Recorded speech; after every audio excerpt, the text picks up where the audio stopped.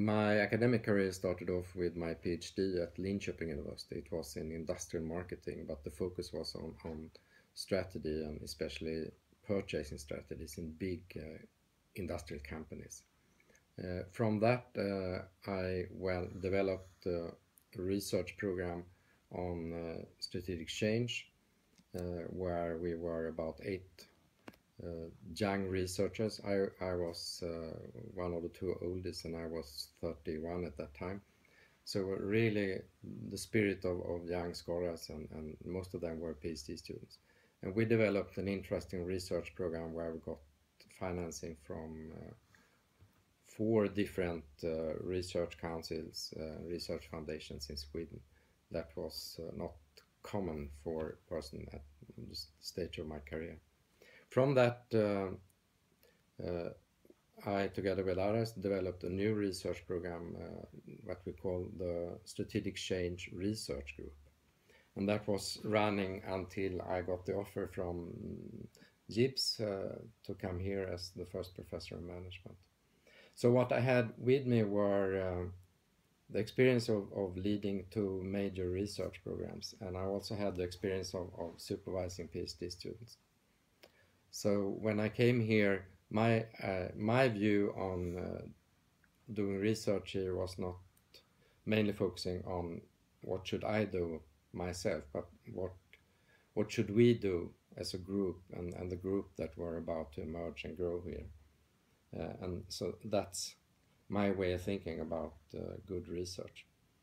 Uh, and uh, that was then the starting point for the CEFEO Center that we identified an open window for doing fund business research.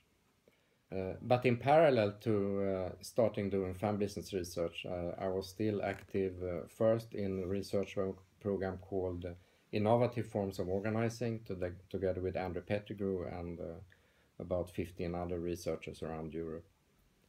and then from that, or I could say a spin-off from that was uh, that I, together with Richard Whittington, started to think about strategizing as uh, something that could be interesting to uh, change the strategy field from. So we started to think about micro strategizing uh, together with Gerry Johnson, and that became the starting point for uh, the strategy as practice research field. Uh, and we published one uh, special issue 2003 and one book 2007 on strategy as practice. And after that, this field or subfield of strategy has been growing uh, tremendously. So that was an interesting journey. And also in the beginning of CEFEO, in the beginning of, of uh, the research I was involved in at CEFEO, and especially a couple of the PhD students, uh, Annika Hall and Mattias Nordqvist, they used the strategy as practice or micro-strategizing perspective uh, in their research.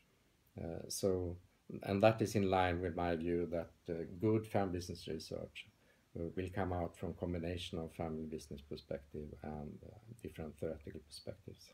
Uh, if I go back to the time when I came to JIBS, 1994, uh, uh, we organized JIBS in three different sections, and one of them called Entrepreneurship, Marketing, and Management was something that was emerging from our internal discussions about how to organize uh, business administration research.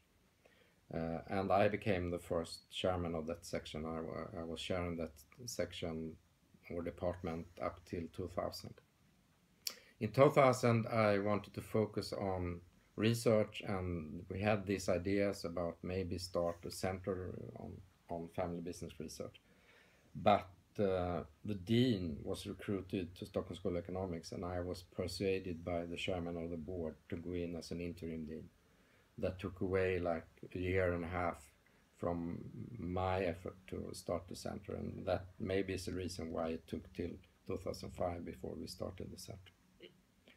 Uh, part of my work has all all the time been focusing on uh, recruiting and uh, fostering growth of PhD students. And uh, totally in my career, I've been supervising, I think now it's 35, and among them about 25 as, as the main supervisor and the others as a deputy supervisor. And that's, I think, what is the most nice thing of, of this work. Characterizing uh, my research career, I think, is about internationalization.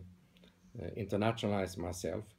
Uh, in 1984, I went to Toronto for a year uh, as a visiting research scholar to be in North America to start to understand what are the mechanisms for publishing, what are the mechanisms for going to academy management, all that, and that was not common at that time.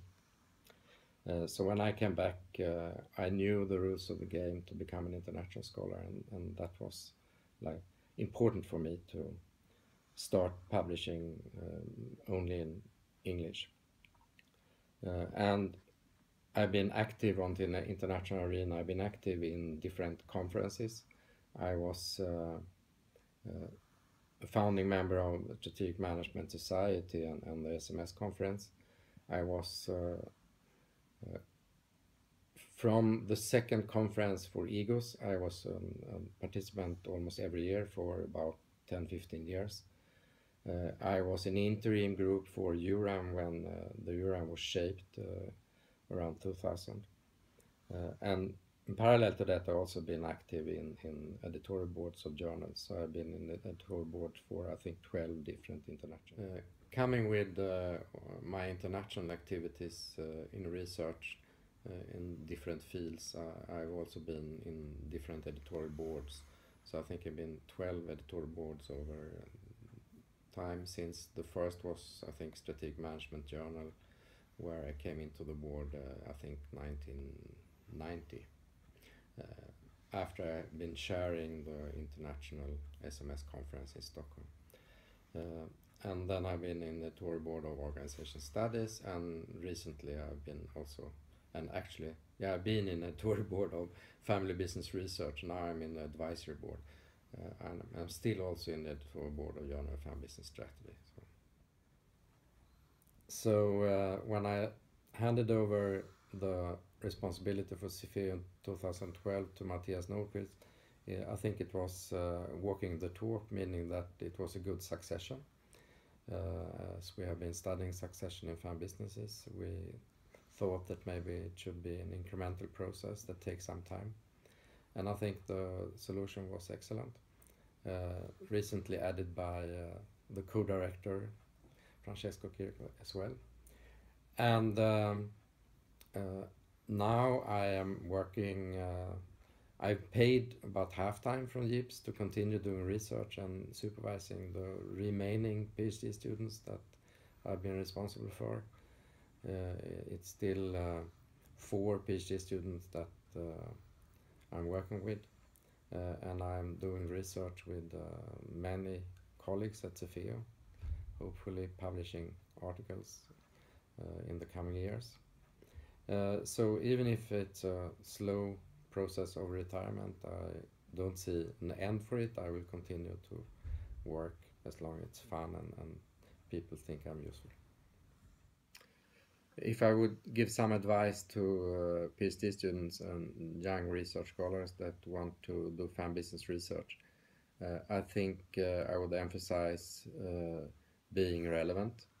And being relevant could be done by combining uh, not only quantitative studies but also doing qualitative studies because then you are in contact with the family businesses. But if not, I think it's important to interact with family business, the family business uh, community uh, in other ways uh, to get this connection to the way of thinking and talking in family businesses when you i think the relevance of research problems will increase with that sort of interaction uh, as important is that you focus on theory meaning that you of course can do contribution to the fan business field but that you have the ambition also to give a contribution to another field to org studies field, to strategy field, to accounting field, whatever.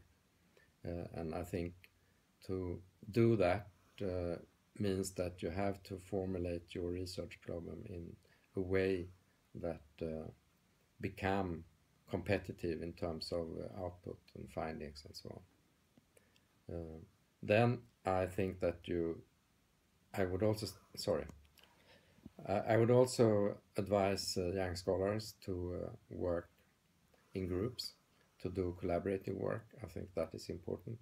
Uh, today, of course, you see uh, papers with four, five, six authors, uh, and that means collaboration. But I think uh, also that we need to collaborate in deeper ways in in developing research problems, in mm, like mentoring each other and uh, I think it's a possibility for young scholars also to form themselves in group and they have a possibility also to apply for their own research money in an early stage of the career, not waiting for professors to give them money and mm, research tasks. Uh, I would also emphasize, of course, uh, going to different types of conferences, not only family business conferences, but other types of conferences in different fields uh, to uh, to broaden the network of researchers uh, that you interact with in your research. And finally, uh, to do research in a way that you have fun.